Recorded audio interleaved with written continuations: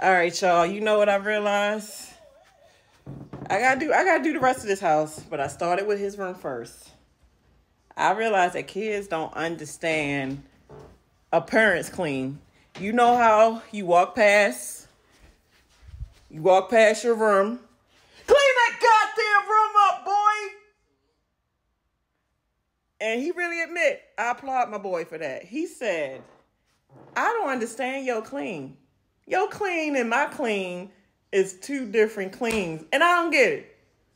So let's get a teenage boy's perspective on like why you don't understand. So this is what we got it to from what it was before it was when it was when it was what it was. So we have to update the furniture, but until then, at least it's keyword organized. Man, this dresser, bruh. This is a huge improvement right here, man. You know how much stuff he had on his dresser? And and I'm not I'm not I'm not getting on him because my room look fucked up too. But uh teenage boy, what do you mean when you say you don't understand a parent's clean? Huh? Huh? Y'all focus too much on the outlook. Y'all ain't y'all ain't think about the interior. What? You threw away too many things that were useful. What? Yep. Mhm. Mhm. Mhm. Mhm.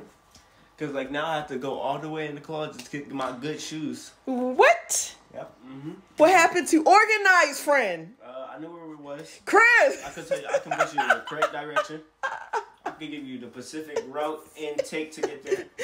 So I'm organized. You're not Chris. Yeah. Having a pile of clothes right here, having a pile of clothes over here, having a broken ass chair right here, Chris. tell you the exact exact order of them clothes. Having a bunch of pile of clothes on the floor, it's not like that no more. We organized it. That closet didn't look like that. I could tell you whatever's in that closet. Chris, Chris, so every time I walk past your room and I told you, clean up. And when I came back and it still looked as similar to what it was before, you really didn't understand what I meant. Nope. So the way we got it now, you couldn't get it to this by yourself. Nope. Chris, we, we, you, you don't like it? Nope. Why? Feel too empty. It's not empty. It's organ. It's So- not empty. Good thing you you better hold on to that little girlfriend you got, cause you gonna need a good woman, bro. I ain't gonna say what you need, but it would be beneficial if you had yourself a good woman. That's why y'all men need women.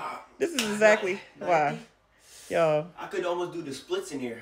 Yeah, yeah. Organized, friend. Empty. Organized. Too spacious. What's wrong with that?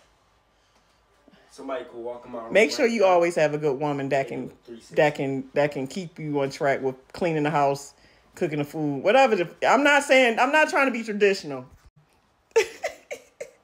All I'm saying is I see why some guys want or need a woman or whatever how you say it.